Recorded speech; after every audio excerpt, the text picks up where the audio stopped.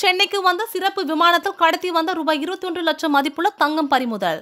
சிங்கப்பூரில் சிக்கி தவித்தவர்களை அழைத்து கொண்டு சிறப்பு விமானம் சென்னை மீனம்பாக்கம் விமான நிலையத்திற்கு வந்தது. விமானத்தில் வந்தவர்கள் மருத்துவம் குடியுரிமை சோதனைகள் முடித்துக்கொண்டு வெளியே வந்தனர்.